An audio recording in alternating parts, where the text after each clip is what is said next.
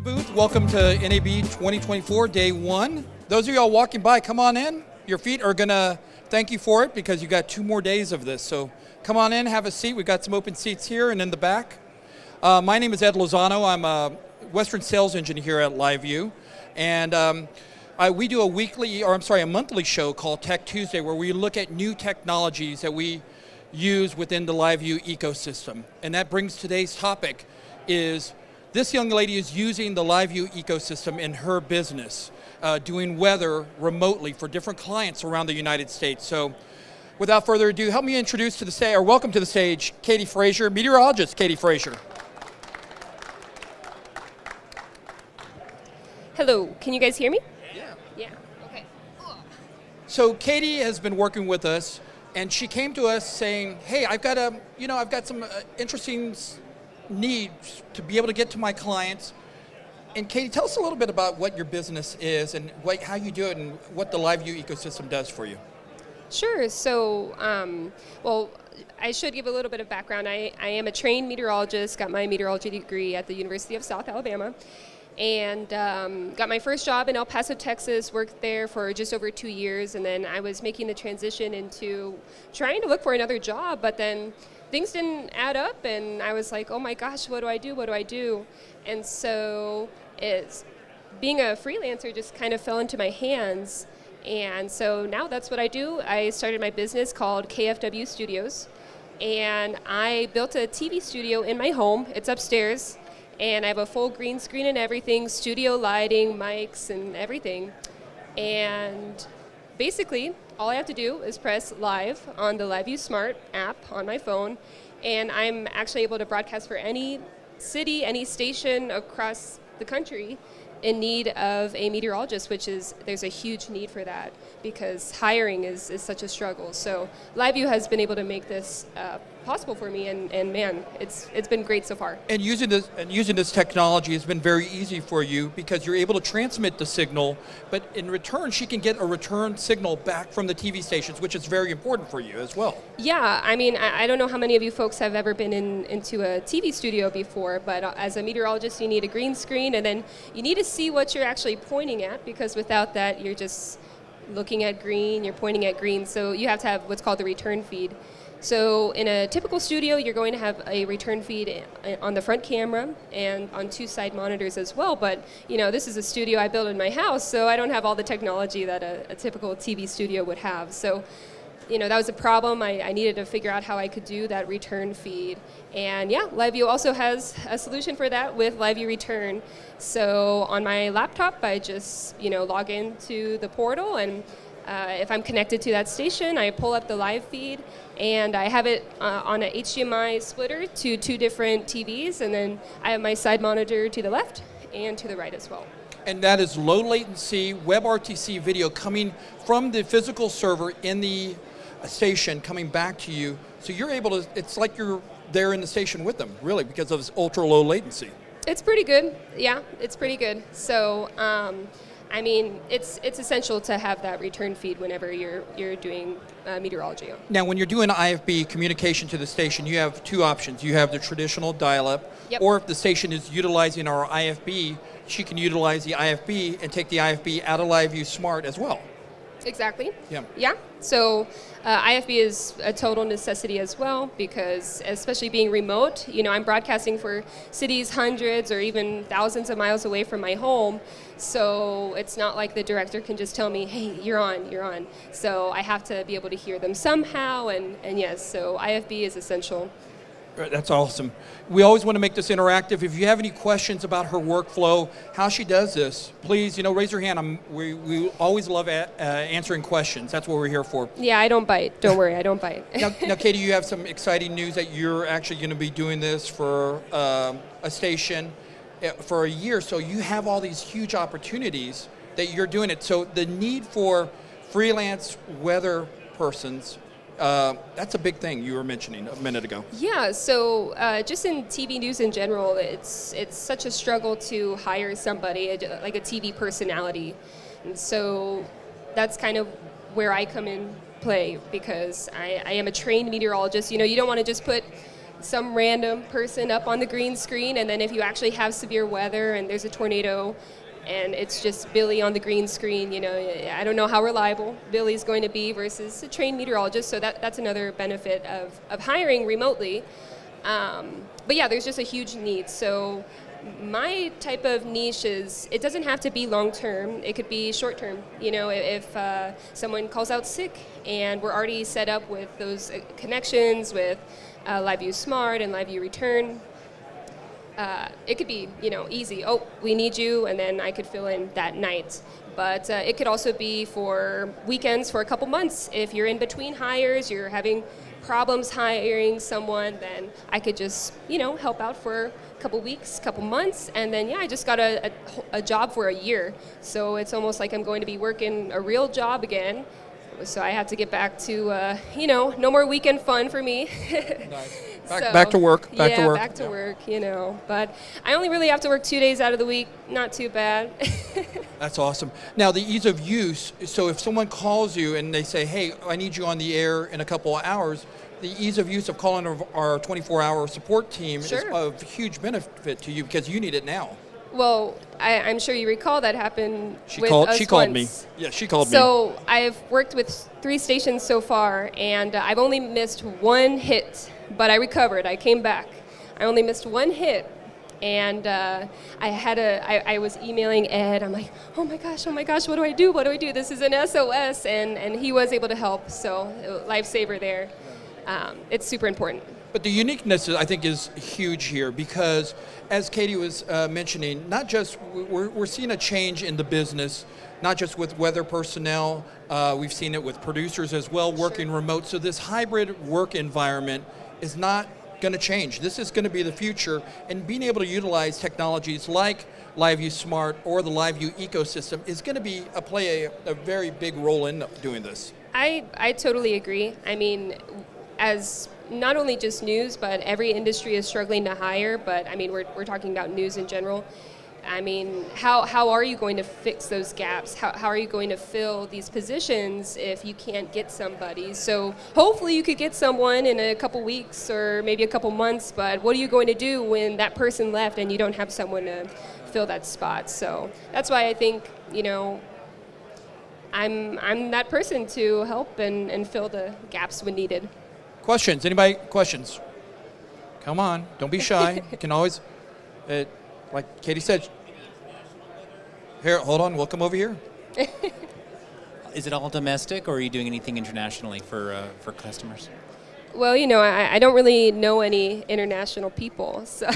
I, th- I, think I know a couple out here in the yeah, audience walking couple, by. So a couple people with, with different accents and whatnot. Yeah. Unfortunately, I only speak English. I'm trying to learn Spanish, but um, you know, Spanish Spanish weather is a little bit different than uh, English weather sometimes.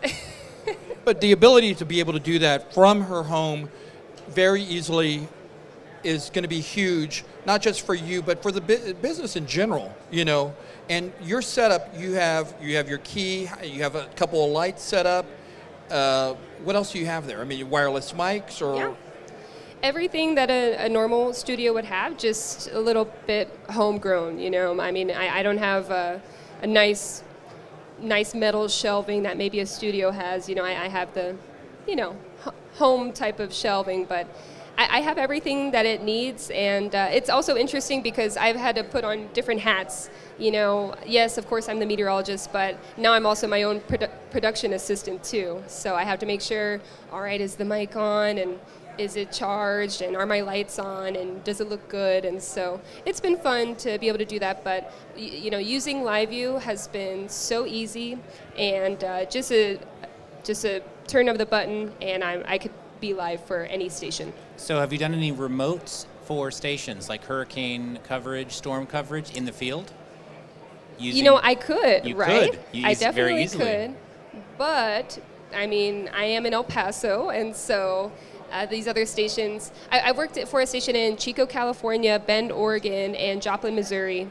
And so mm, the the only weather that was really crazy so far that I've dealt with was that terrible cold snap that happened. I think um, either the end of last year or the beginning of this year, where it was like negative 20.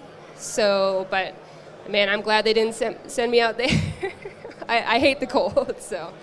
Again, we're talking with meteorologist uh, Katie Frazier, talking about how she uses LiveU Smart w- with her remote weather business. We've got another question, Katie. Oh, wow. Hi, Katie. So you, you've mentioned LiveU Smart a Yes. couple of times. Can you just explain a little bit about what, what is it and why did you choose it?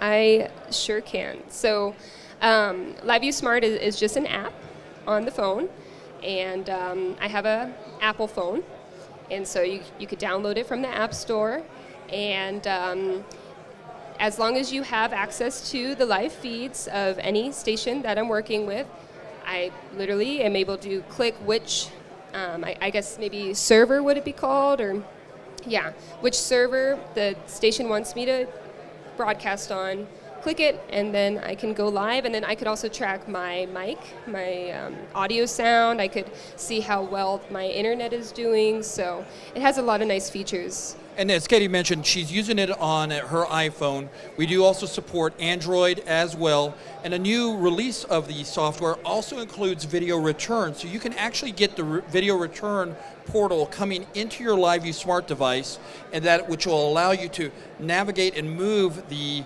uh, return coming back. And once you have your shot set, you can actually take that full screen. So it actually helps as well. I know you have your two side monitors, but if you're in the field, this is beneficial as well. Sure. So a lot of great uses for LiveU Smart, uh, not just for what you're doing, but for you know uh, remote reporters doing stuff in the field. We, we do have a lot of smaller markets that um, utilize this technology as well. So you know just so many different applications. But once again, yours is very unique because the business has traditionally been the meteorologist in the office. Yeah. You're in there using the machines locally, but now you're a thousand miles away from the station that you're working with doing a newscast. It may be 11 o'clock your time, but it's 10 o'clock their time. You're just all these different time zones that you're juggling. So just a very unique model that you, you've started and you do day in and day out.